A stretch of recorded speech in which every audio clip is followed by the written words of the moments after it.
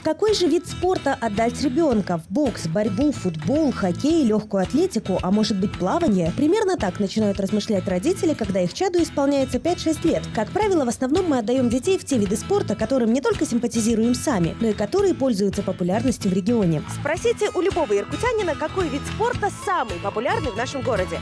И, пожалуй, каждый, практически не задумываясь, ответит, что это хоккей с мячом.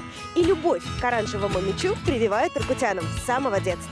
История иркутского хоккея с мячом богата взлетами и громкими именами. Но в последнее время все меньше ребят приходят в хоккейные секции, а родители девочек вообще считают хоккей с мячом абсолютно неподходящим для их детей. Хоккей с мячом популярен, наверное, скорее всего, среди мальчиков, потому что для девочек считают родители, что это не женский вид спорта.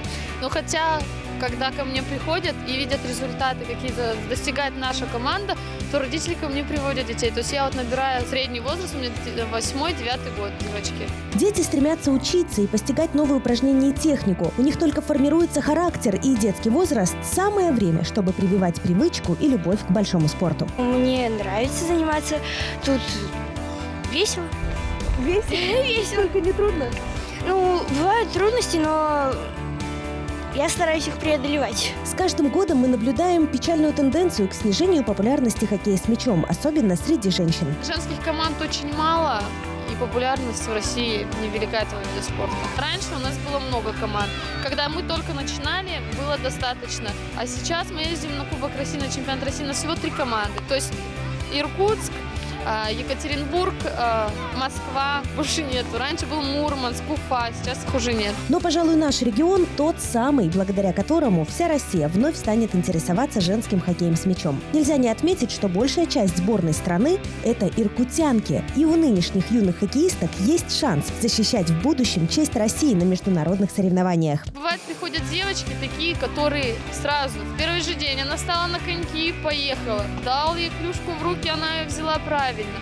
Показала ей, как бить удар, как нужно кататься. Все делает совершенно правильно. А есть такие, с которыми очень тяжело, трудно работать, но по итогу своим старанием они добиваются больших успехов. Девочки, которые тренируются всей душой, переживают за свои успехи и за успехи своего клуба и стремятся всеми силами стать лучше. Ну вот, например, я вратарь, я не уверена я в себе. Мне, у меня вроде получается, но я думаю, что это не очень хорошо.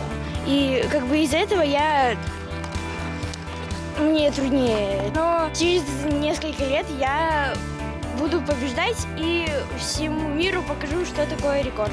Ну, в смысле, что такое хоккей с мячом. Некоторые даже не знают, что есть такой вид спорта. Приводите детей в хоккей. Этот вид спорта действительно визитная карточка нашего региона. Мы здесь, во-первых, всех ждем. Во-вторых, это бесплатное занятие здесь совершенно. Только нужна форма. И главное, в будущем можно достичь таких результатов, которых достигли вот именно мы. И я не знаю, для меня хоккей это теперь как, как смысл жизни, потому что я всю жизнь тренируюсь, теперь я работаю, отдаю свою любовь детям, и я очень жду здесь много-много девочек у себя в команде.